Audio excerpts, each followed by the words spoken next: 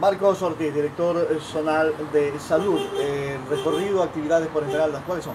Bien, nosotros vinimos, eh, hemos hecho algunas de las actividades, ayer tuvimos una reunión por parte del Ejecutivo desconcentrado acá en la, en la provincia de Esmeraldas. El día de hoy nosotros ya nos encargamos de la promoción de la campaña de ligaduras y vasectomías en su segunda fase, cuyo lanzamiento lo vamos a hacer aquí en la provincia de Esmeraldas. Eh, nosotros tuvimos una primera fase muy exitosa, el lanzamiento se hizo en la provincia del Carchi, en el Hospital Luis Gabriel Dávila de Tulcán.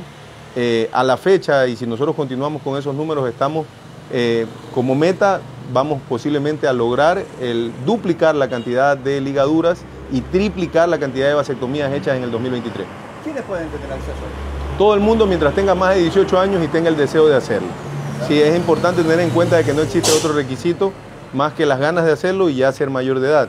No importa que haya o no haya tenido hijos, eso para nosotros, o la cantidad de hijos que haya tenido, eso para nosotros no es, no es un, requisito eh, preponderante, sí, para nosotros simplemente es el deseo de hacerlo. Sin costo, ¿cómo hace todo? Sin costo, nosotros contamos actualmente en el Hospital Delfina Torres de Concha en la provincia de Esmeraldas, que es donde se va a llevar a cabo la segunda fase.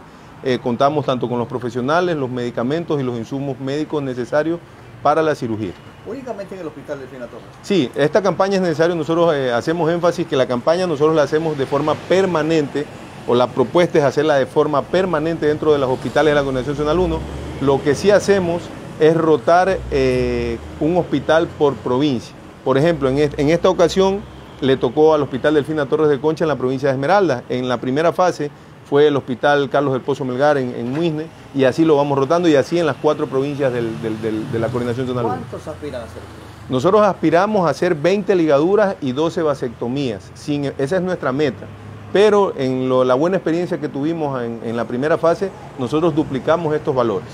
¿Qué otras acciones se impulsan desde el Ministerio a propósito de la etapa de invierno? Bien, nosotros eh, continuamos con la campaña Mi Barrio Sin Mosquitos. El, tema del dengue para nosotros siempre, siempre está presente, lamentablemente, y por eso nosotros insistimos en que se nos sumen pues, las otras instituciones, los GAT municipales, eh, parroquiales y provinciales, eh, con el objetivo de lograr destruir los criaderos.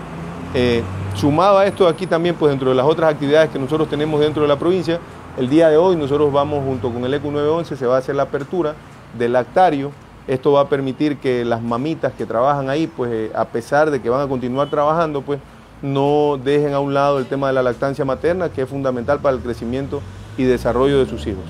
Qué importante es que difundir esto del lactario y que las instituciones están obligadas a respetar todo lo que Claro, debemos respetar. A ver, hay que estar claro que, hay que estar claro que el tema de la lactancia materna para nosotros es imprescindible.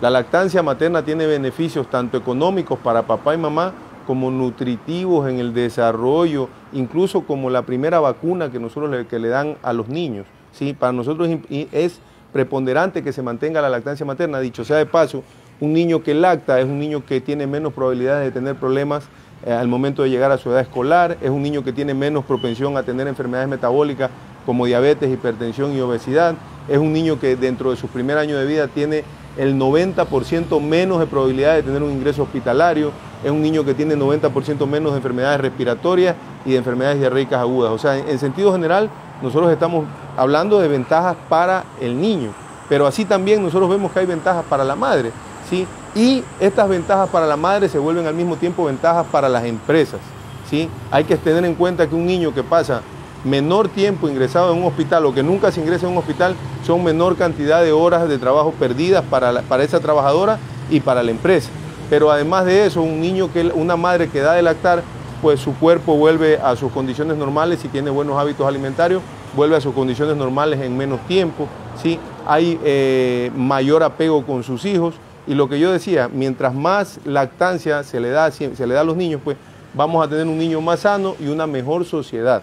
Los resultados de esa campaña eh, del mosquito eh, son buenos resultados, vale la pena continuar. O sea, vale la pena continuar. Nosotros hemos tenido buenos resultados sin lugar a dudas, pero podemos tener mejores, ¿sí? Hay que tener en cuenta de que prácticamente llevamos un año entero en condiciones invernales, ¿sí? Y eso de ahí para, para el dengue es como, como su dulcecito, ¿sí? En el caso de los mosquitos, sin embargo, nosotros continuamos con la destrucción de los criaderos.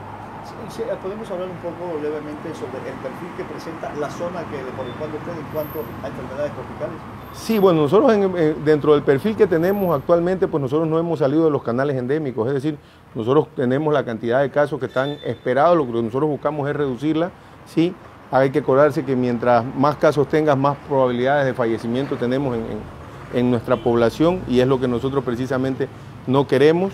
Hay que tener en cuenta también que eh, dentro de la coordinación zonal, pues no solamente tuvimos en, enfermedades tropicales, no solamente tuvimos dengue, tuvimos una alerta de fiebre amarilla, ventajosamente se controló rápidamente en, la provincia de Sucumbíos, porque la alerta fue del otro lado de la, de la frontera. Entonces así nosotros nos hemos mantenido, tuvimos un foco de malaria también, eh, como lo comentaba, en la provincia de San Lorenzo, que los hemos ido controlando, ¿sí? Pero lo ideal es que esto no se dé, nosotros tenemos que hacer prevención primaria también, sí, la prevención primaria en el tema de enfermedades tropicales precisamente es eliminar los criaderos.